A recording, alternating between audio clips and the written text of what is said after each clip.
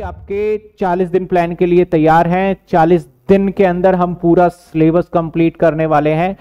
चलिए मिलते हैं फॉर्म भरिए फटाफट से और जुड़ जाते हैं मेहनत करके। 40 दिन में सारा पूरा सेमेस्टर फाइव का सिलेबस खत्म करते हैं। हाँ जी स्टूडेंट कैसे हैं? एग्ज़ाम फॉर्म आ चुका है। एग्ज़ाम आपका दिसंबर में है। अक्टूबर जा चुका है। बचा नवंबर है। ठीक है ना? और सर सेकंड फ़ेज़ वाले बच्चों का तो शायद रिज़ल्ट भी अभी उसी के अकॉर्डिंग है कि सर हमारा कब आएगा। अब मैं सिंपल सी बात कहना चाहूँगा एग्ज़ाम फॉर्म आ गया एग्ज़ाम फॉर्म तो ऑब्वियसली भरना है। सेकंड फ़ेज़ वाले जो बच्चे थे, उनको भी वेटेड है।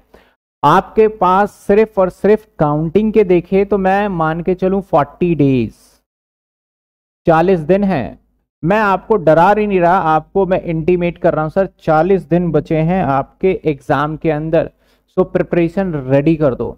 सर, आपके पास क्या क्या सब्जेक्ट है कॉमनली अगर देखा जाए तो एक हमारे पास आता है फाइनेंशियल मैनेजमेंट एक आ जाता है सर हमारे पास इकोनॉमिक्स सर एक आ जाता है हमारे पास एंटरप्रेन्योरशिप सर एक आ जाता है हमारे पास मार्केटिंग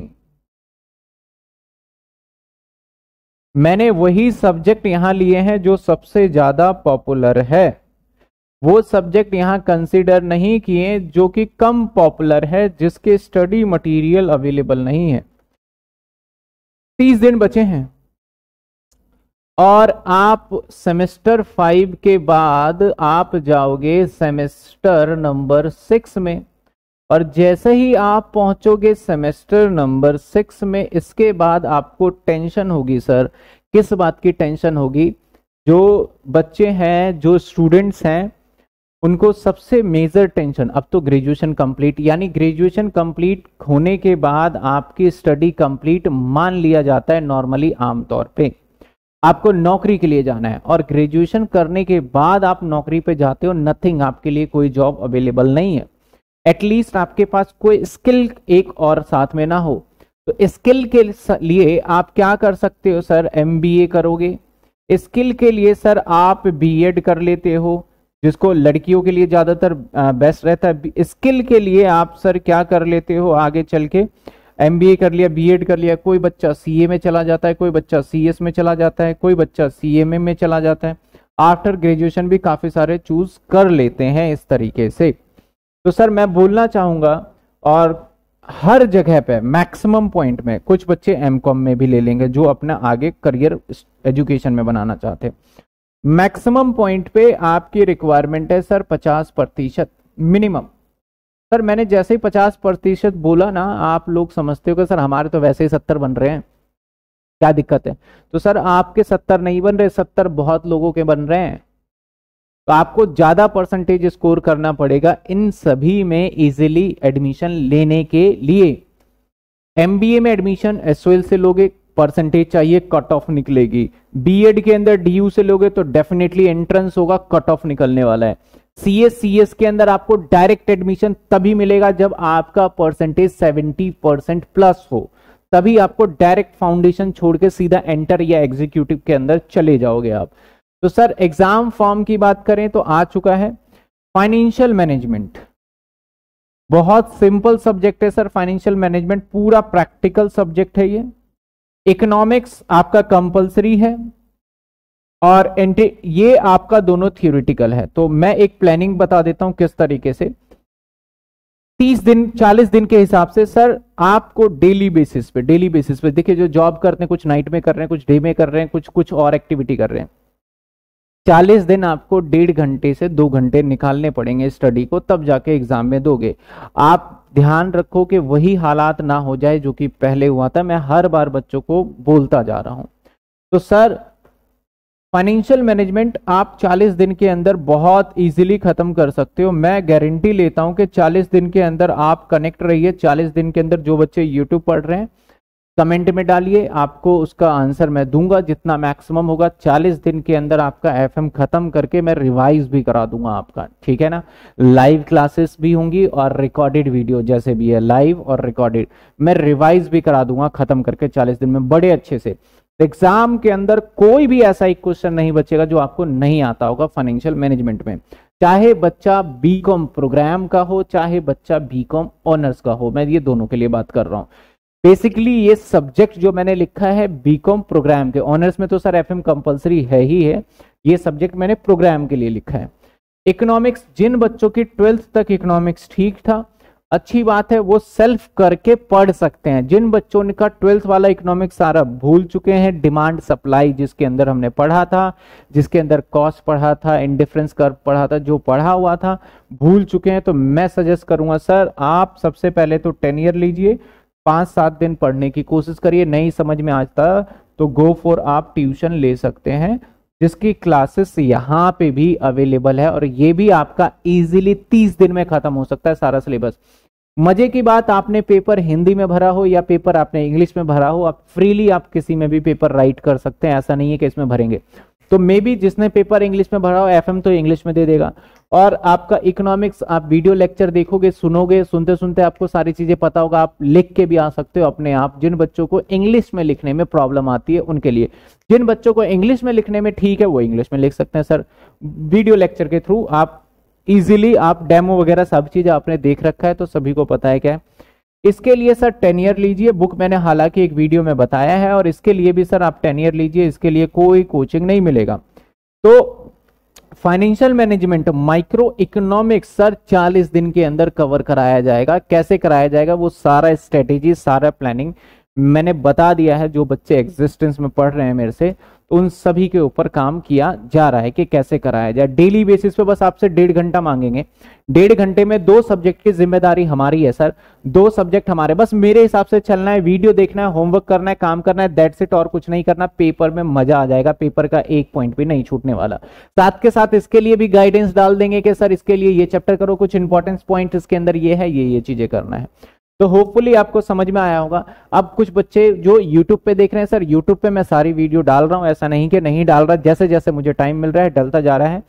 पेड कोर्सेज में भी कुछ बच्चे हैं पेड कोर्सेज में भी बच्चे जाते हैं, उसके अंदर लाइव क्लासेस जाते हैं। अब पेड और यूट्यूब में फिर मेरे से बच्चे पूछते हैं, सर, क्या फ़र्क है पेड और यूट्यूब में?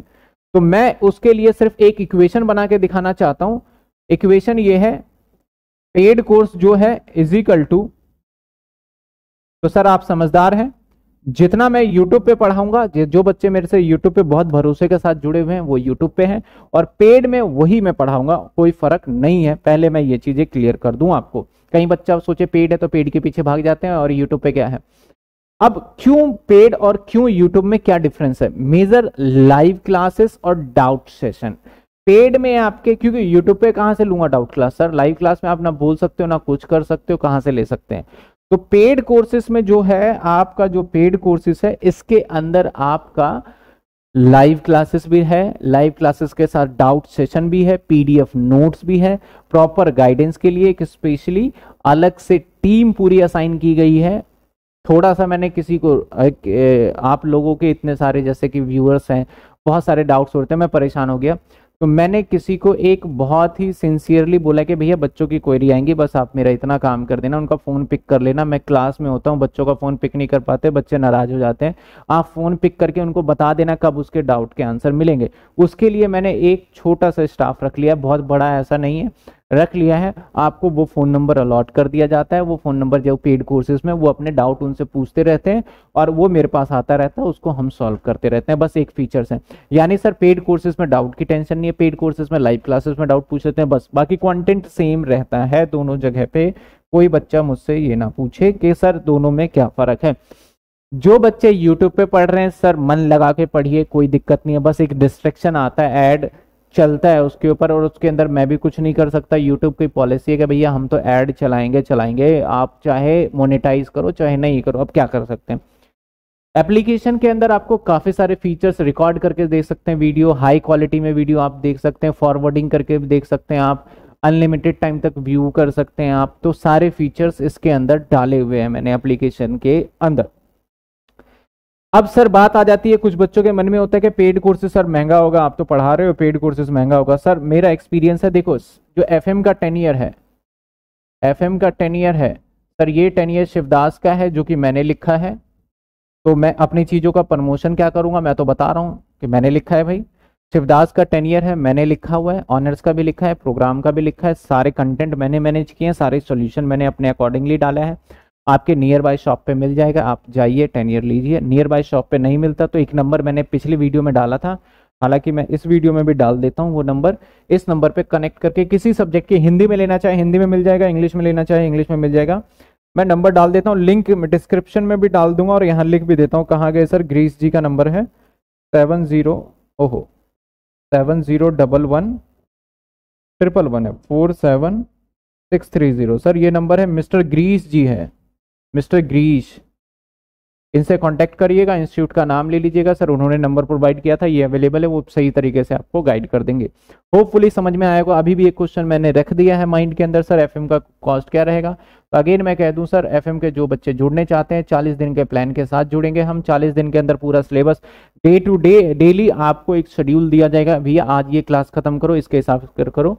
तो जो बच्चे यूट्यूब पे हैं यूट्यूब से ही बच्चे जो पढ़ रहे होंगे अदर बच्चों की फ़ीस कुछ भी है, उससे क्या लेना देना ऑफलाइन में फ़ीस क्या लेना देना, हम तो आपकी बात कर रहे हैं सर हम देख रहे हैं, हमारी बात करो।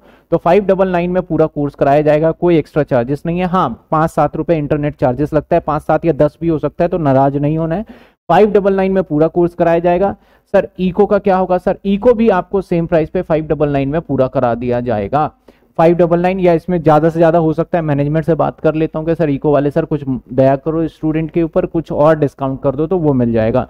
कहाँ पे सर? लिंक में सारे डिस्क्रिप्शन है, लिंक के अंदर सारी चीज़ें आपको डिस्क्रिप्शन लिंक में सारे डिस्क्रिप्शन, देखो मैं क्या बोल रहा हूँ। डिस्क्रिप्शन में सारा लिंक है, डिस्क्रिप्शन में सारी बातें मैंने लिखी हुई हैं, वहाँ से जा सकते हैं। कॉन्टैक्ट नंबर एक दे दूँगा, आप कॉन्टैक्ट करिए, आपको सारी चीज़ें समझा दी जाएगी। तो होपफुली आपके तो मिलते हैं नेक्स्ट वीडियो के अंदर, फिर नए एक प्लानिंग के साथ। Thank you so much good night take care good morning good afternoon जब भी आप इस वीडियो को देखेंगे।